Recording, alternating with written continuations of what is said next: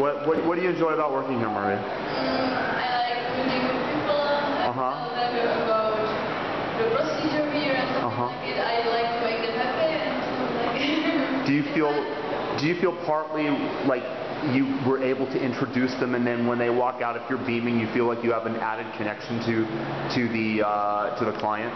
Yes. Yeah? Cool. And how long have you been working here? Uh, only one month. One month. Yeah. Okay, well congratulations on getting the job. Yeah. Okay, great. but I hope that I, I will be there a long time. Okay, great. Nice to meet you.